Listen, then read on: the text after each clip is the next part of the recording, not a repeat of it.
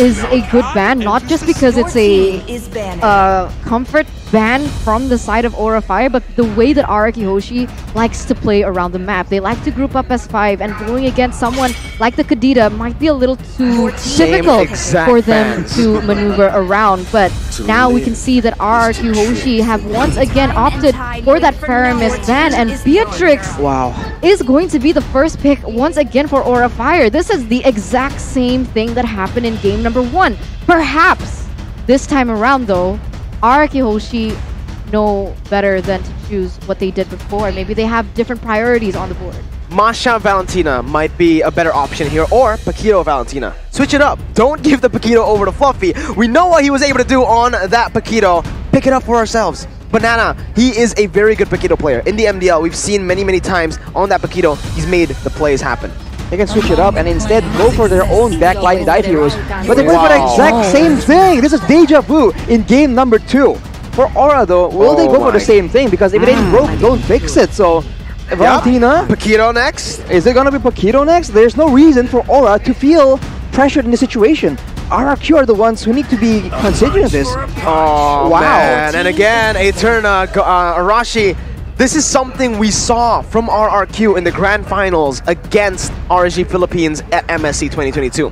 All four games, they went for the exact same bans and the exact same picks. I wonder if they're thinking that no, it wasn't the draft, it was just the execution, which makes sense, right? You can say you can make an argument that there are moments where RRQ had success, but overall, why make it difficult on yourself? You can you can remember how difficult it was for them. Maybe they want to go for Masha and Yves, and then for the roamer, they'll go for someone with a bit more crowd control, a bit more security, and save, the same way Eterna was talking about. There is a possibility that they want to secure a gold laner this time around. Perhaps the Claude. Claude. I think it would have worked better than the Irithel, being able to go in without any hindrance. But no, it's going to be the Cho pick for the side of RRQ Hoshi. So now Aura Fire once again have the option to start limiting that gold lane if they want to. Now, I do think it actually is slightly better than game number one's draft, right? Because with the Cho, you pick up a Masha, you pick up a Cho. Now, both of these heroes will be able to be flexed, right? Masha, XP, roam. And for the Cho, XP, jungle, roam, three lanes as well. They picked up the Esmeralda last game, and I called it. We have never seen Albert on the Esmeralda. It's probably going to go to the XP lane, and Masha's probably going to go, to the roam. Now it makes it a little bit more unpredictable for Aura Fire. But they might just, well, they will go for the same exact bans, I believe. They went for Claude and Popol in game one. Go for it again. I mean, the gold laner still is very, very vulnerable to those bans. I don't think Aura needs to change anything here in terms of the bans. They want to go full dive. The quad is so perfect. Ban it out, ban it out. That's the only option they have. Oh, but Natalia. now Aura Fire, they're actually going to shake things up with a Natalia being banned away. So Interesting. they don't think that Masha is going into that roam position once again, perhaps. We saw a bit of a fun, well, a bit of a fun fact, but the highest win rate on the Beatrix is still on Skylar, but he's not getting the hero at all. Looking at the, you know, the head-to-head almost between Facehugger and uh, Clay here, it does seem like they're both high ground heroes, but you can see that Aura right now is a lot more flexible. They can put Facehugger in several different heroes, and Clay we just haven't seen the same kind of I don't know, flexibility, the same kind of adaptability. So maybe there's something that they're trying to go, uh, they're trying to abuse. But it seems like Aura, they're expecting RRQ to go full dive and make sure that that Beatrix is a non-factor. So they ban out the Natalia, and RRQ, they're going for the same exact bans. You're right. Same. Same. Five. All Same. five. Same bans. But Aura, they leave the Popol and the Claude open for RRQ to take. Huh? They ban out the Irithel, which they were able to take down in game number one. So maybe now they just want to, you know, go. Try. Play your signature heroes, Skylar. That's a little feisty. It- it's getting personal here. It's a taunt from Aura, uh, from Aura, just saying, you know, we can take your best shot. Doesn't matter. So now from RRQ, the first pick here, is it going to be the gold lane or are they going to try and hide it and do something unexpected? The, the Brody that we talked about in the previous game, it is going to be here right now. It has a lot more self-peel, more utility, and he, they can secure a lot of the heroes escaping, right? Which is how Aura likes to play. They go in, they get pickoffs, they dash out. Now, the torn apart memory will be there to try and deter them from doing that. It's very, very. But there's a lot of single target damage here actually for RRQ. But But again, we'll see. For Aura, they can just go for the same picks again. Uh, nothing stopping them from doing that. The Amon and the Ruby was the pick they went for in the last on their last pick. So now Aura have the chance to go for the same exact draft. They might change up a bit, maybe giving the jungle, changing the jungler would be pretty alright, you know? The Amon in that game didn't really have as much pressure. Oh, I had a feeling, Mirko! Is this Oh. Esme? I had a feeling. It's Esme jungle. jungle. I had a Jungle. feeling. Esme jungle. I had a feeling. jungle. Oh, bro. While you were talking, I was like, this is going to be insane if Aura Fire picks up this Esmeralda in that jungle position. And oh my god, they really do it. And they top it off with the Ruby for Godiva to add them a little bit more CC. And now, this is a heavy front line from Aura Fire. Our Kiyoshi, how are they going to seal this off? Where is the Cho to go? Aura has a lot of dive as well, and it's still a good mix of magical and physical. That is something that Aura abuse a lot of times. We have a comment here for Anti-Mage though. Lemon is very good with momentum heroes and Clay with damage heroes. Huh. That you know seems to be the case. Now the final pick for our RRQ though, it's gonna Ooh, it's gonna be Ling. Oh. The Ling pick for Albert again. He's trying to get his first win on the Ling in season 10. Ladies and gentlemen, right here, the drafts have been completed. The Cho will go to the Rome, I believe. But here we go. Talent game duration prediction by Axe 18 minutes, 19 minutes, and 18 minutes. In game number one, they went to 22 minutes. So I got the most accurate time.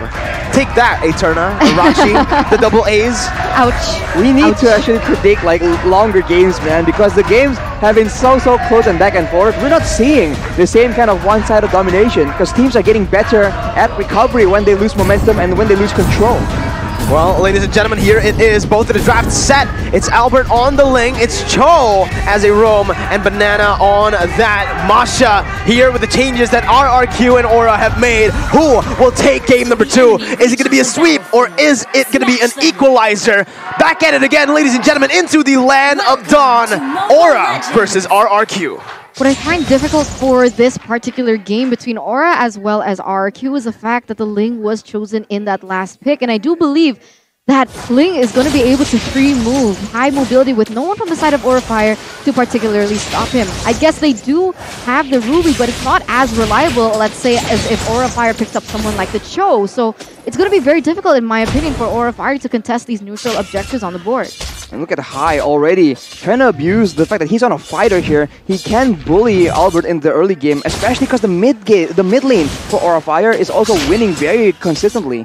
Vin and Clay try to deter them, and Fluff, uh, Banana comes in to try and act as a threat as well. So RRQ Hoshi, they will be able to get the orange buff for Albert so far. This is going to be tough though. Again, you can already see that they're putting a whole lot of emphasis this time around into that gold lane.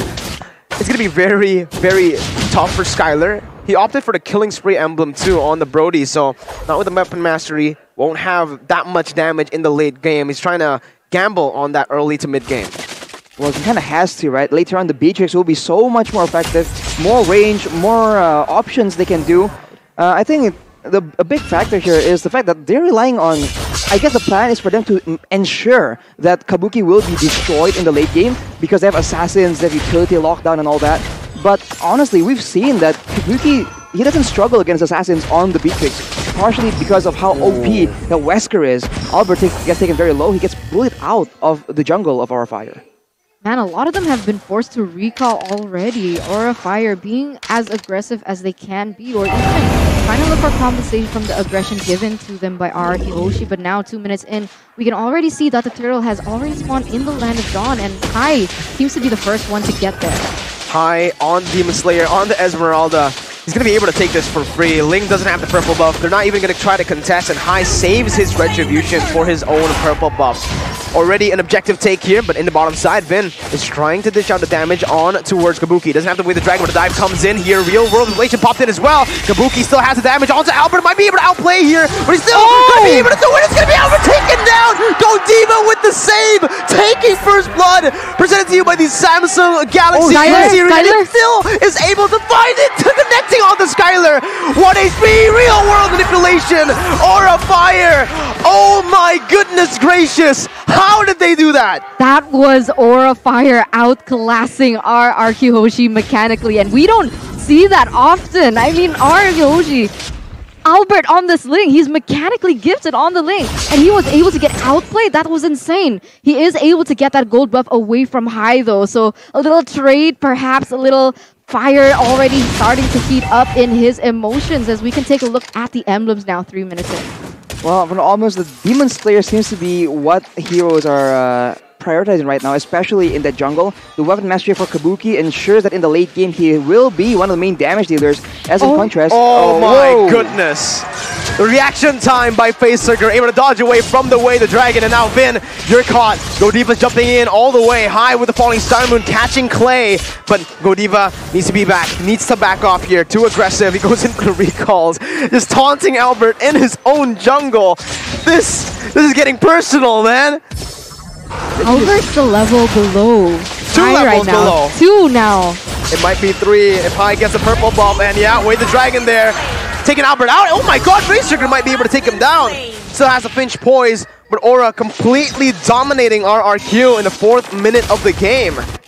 Wow, it's just so difficult. They, they tried so hard to make that play in the bottom side work out, but nothing was set up for it. Even the mid lane wasn't really pushed out. They make a play for Godiva right now, and they will be able to secure that.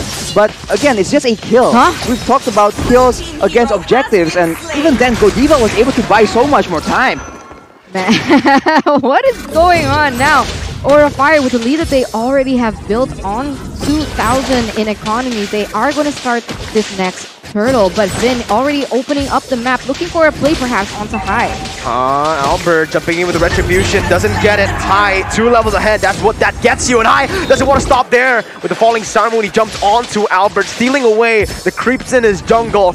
RRQ, this is a weird spot to be in for Albert. Two levels below of the enemy jungler as a Ling against a Beatrix Arashi. I've, I've told you so many times how um, you know, annoying it is to go up against a Beatrix on the Ling, and now we're seeing it. Godiva trying to go for the I'm offended, connecting and bringing it back all the way for Kabuki to take that kill. Skylar taken down, instantly bursted down by the Terminator, Kabuki.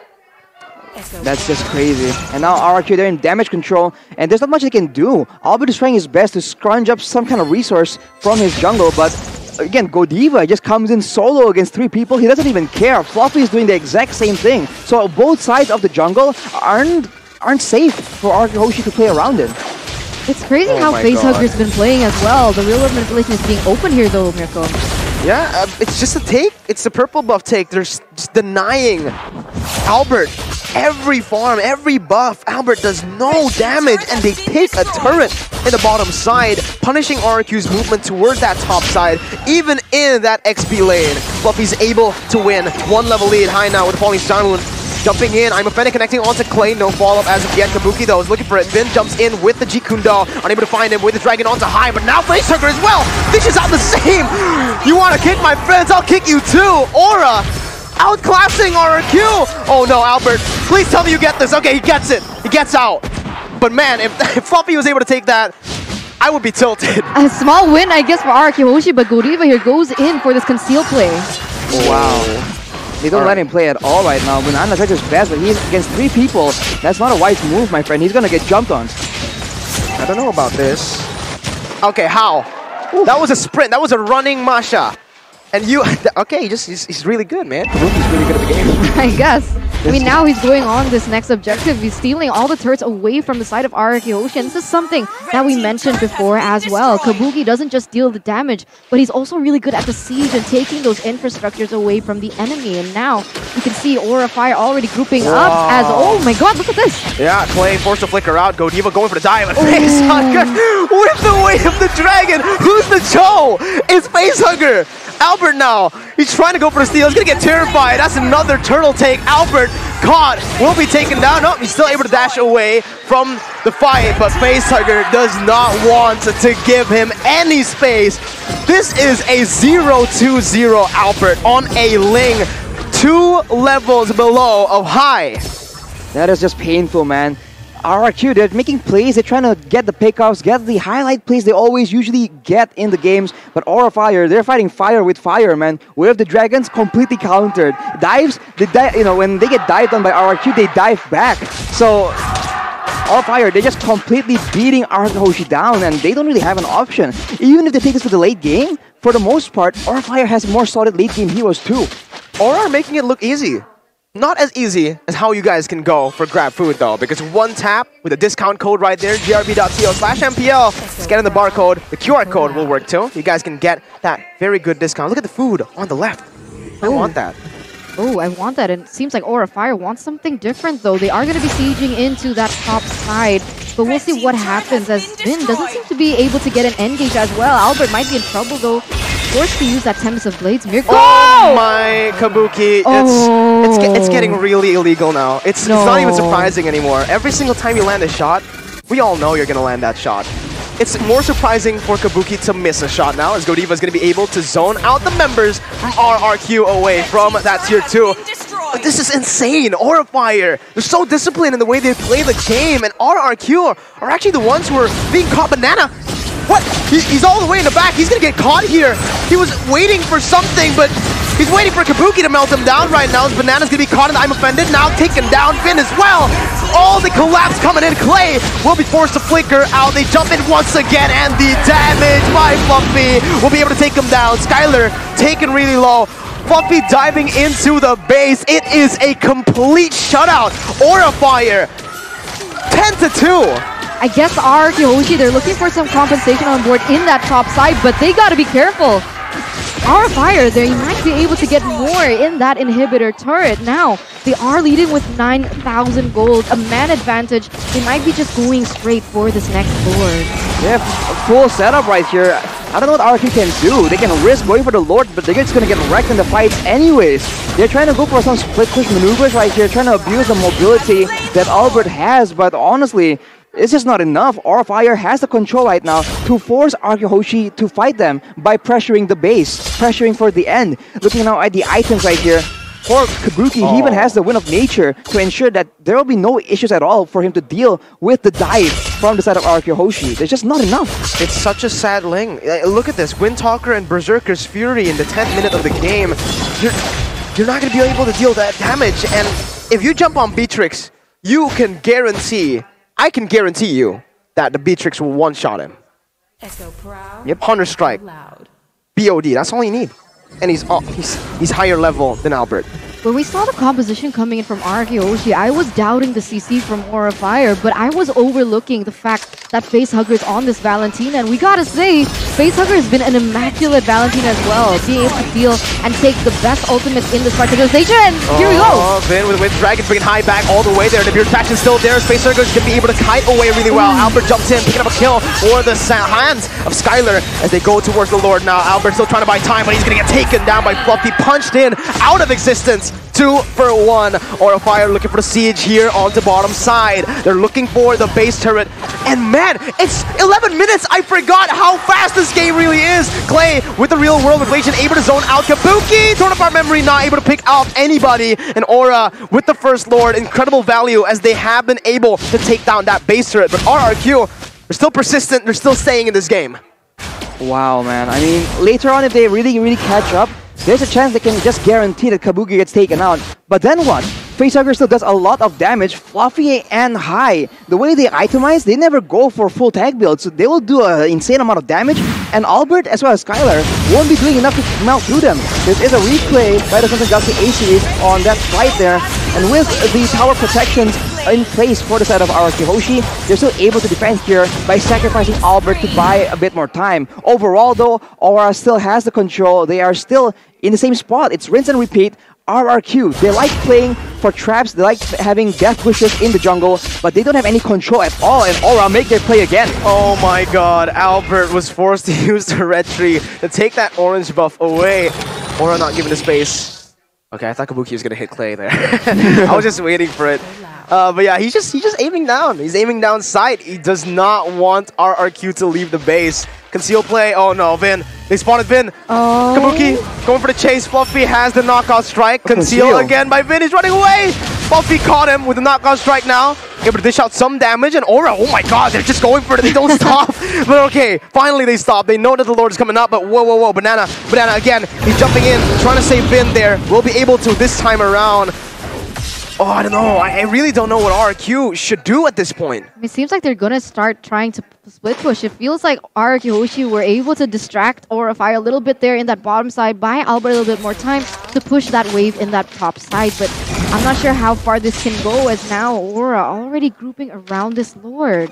And they're resetting it because they need to get pressure up top first. They're clearing it first. They do not want to rush anything. Again, with an 8,000 gold leader, Rashi, they're not in the position to actually force things. It's RRQ who needs to force things, and Aura are just baiting them out of the base. Aura is just trying to make sure that they overextend. And Banana he was pushing, but now he's rotating, coming in. But for the most part, Aura just seems to be going for it. Oh, and there you go. Vin's gonna get taken down. Albert jumping in onto Godiva. Torn apart memory, tickling Godiva there. Only taking uh, away like a bar of HP.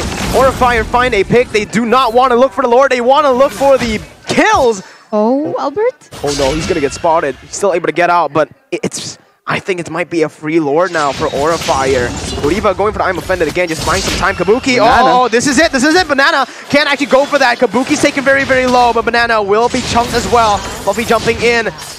Does Kabuki have Haas Claws? Is he able to sustain back up?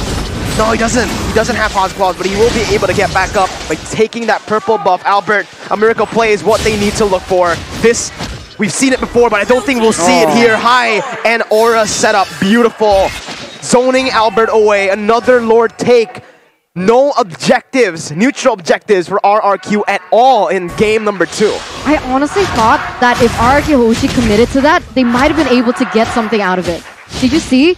RRQ Hoshi had all their ultimates up, except for that real world manipulation, but I'm sure it would have been up rather mm-hmm. fast. And from the side of Aura Fire, they wasted all their resources already, but they didn't commit onto it. Oh, I don't think this is a good push. It's only one way pushing in. Bottom side and top side isolated here. Backside though, Vin jumping with the way the dragon bring Kabuki out of range so that RRQ can have more time to defend. Now Kabuki with the render shot. He oh! finds Oh. Clay and he's able to buy some time for the team to go onto the top side turret. Alba with a Finch Poise jumping in with the Temple Blades as well. Real world manipulation popped in, but Clay is there. Godiva just waiting for it. I'm offended picks up and look at the backside. Actually, Banana going on to Kabuki's 1 HP with a nature. Oh my god, he's still able to get the kill. He's looking for more right now. It's a one for one. Fluffy taken down for Albert. Torn apart memory popped in. Blade armor bought by Banana as he goes in on the Facehugger, but still not able to find the kills. Kabuki just goes crazy. Falling Simon locking him in place for Kabuki to dish out the damage once again. Finding a double kill as in the backside. That's gonna be Godiva jumping in to secure the kill. Clay! Oh! Taken down by Kabuki. You cannot stop the dragons. Aura Fire! Dominant display, burning the kings down. Burning the Kings